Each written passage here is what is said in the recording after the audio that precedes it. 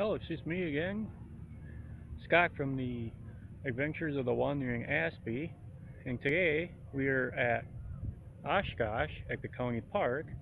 As you can see, it's very nice. We have the lake, have a couple statues here throughout the park, and there are a lot of people in the park today.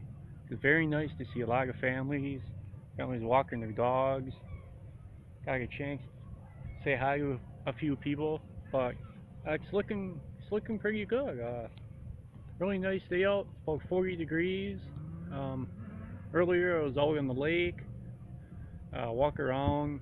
Uh, ice is starting to get kind of soft, so you don't want to be uh, walking out too far. And there's looks like a couple shangies still on the lake, but they're coming off. Uh, I'd say in another week or so, and yeah, there won't be any more uh, any more ice. But um, good day overall. This is Oshkosh, and this is Lake Winnebago. Obviously, uh, you can't do this in the summertime, so this is a lake, walking on it. Pretty nice day out, about 40 degrees.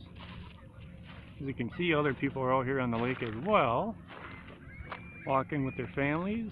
Probably the last time of the year to do this. Mom over there in the car. Really nice park. Beautiful day.